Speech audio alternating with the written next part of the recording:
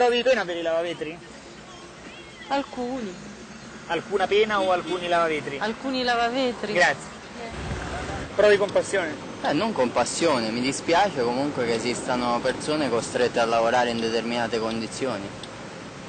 Ma eh, questo dispiacere quanto ti dura? Lo spazio di un semaforo o te lo porti anche preco? Ah, dipende dalle situazioni. Talvolta lo spazio di un semaforo, talvolta più tempo. Non pensi che i semafori esistano per dare la possibilità al dispiacere di durare appunto lo spazio di un semaforo e non più? Può darsi.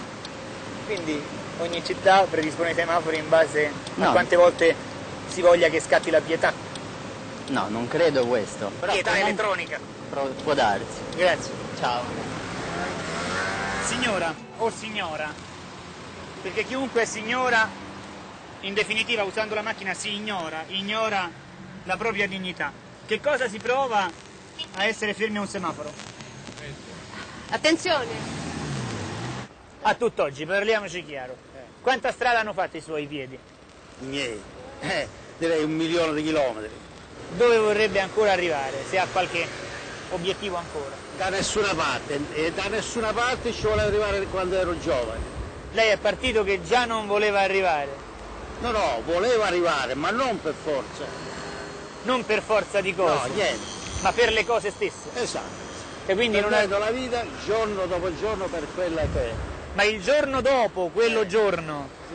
non ha avuto il rimpianto Niente, per il niente. giorno prima. No, no, niente, nessun impianto, né allora né adesso né dopo. Lei rifarebbe tutto, Tutto, tutto. anche questa intervista. Tutto, tutto, tutto. La rifarebbe questa sì, intervista? Sì, sì, sì. E allora rifacciamola. Vorresti tornare ai tuoi tempi? Ma sto bene così. Sei bene così. Lei invece vorrebbe tornare ai suoi tempi. Magari. Lo vede che passano gli anni e aumentano i rimpianti. Lei ha fallito. Ha fallito? Non ha fallito? No, no. No, no, no, mai, Mai. mai, mai. Eh. Ti senti un fallito? Tu hai fallito qualcosa nella vita? Arrivederci. Eh.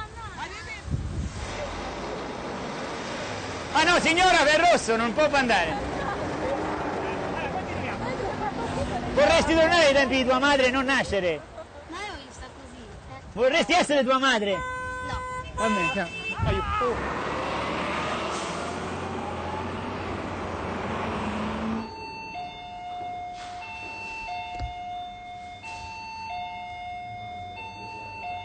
Voi siete un tipo di persone che vengono definite impropriamente giovani. Oltre ad essere giovani, voi due di che cosa vi occupate? Andiamo alla scuola francese. Francese, francese, francese. Andiamo alla scuola francese qui a Roma. Quanto tempo della giornata vi occupa essere giovani? Penso tutta la giornata, tutta la notte. Non avete nemmeno un minuto appunto per dedicarvi ad altre cose? Perché? Cioè l'essere giovani vi ruba tutto il tempo e quindi magari vi priva di una pizza, una birra, una pacca sulla spalla anche. Quello fa parte di essere giovane. Esatto. Si può fare tutti essendo giovani. Eccoci vicino a due o tre giovani, non sappiamo ancora quanti siano in esattezza, perché i giovani danno sempre l'impressione di una macchia molto affiatata. Vi ritenete veramente giovani o pensate che la società si vi stia remando contro? No, no, ci crediamo giovani. Ci Di quanti anni? giovani. Di quanti anni di giovane? Tu per esempio, di quanti anni sei giovane? 15. E tu invece? Io pure 15. Tu sei giovane per modo di dire, perché insomma hai già la tua esperienza in campo sessuale. No, volevo sapere se tu hai qualche paura, se hai avuto qualche paura in, in passato. in- Penso di sì. di sì. eh, di che cosa? Raccontaci un episodio che ti ha fatto paura. Non lo so. Che ne pensi dei libri scolastici?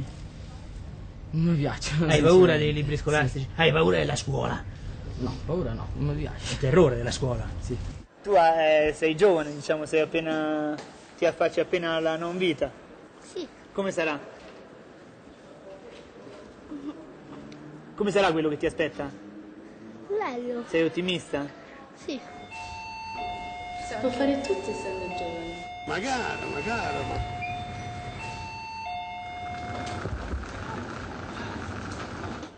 Manca poco, poco manca.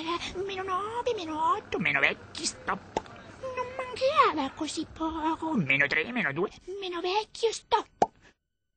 Povero vecchio, stop.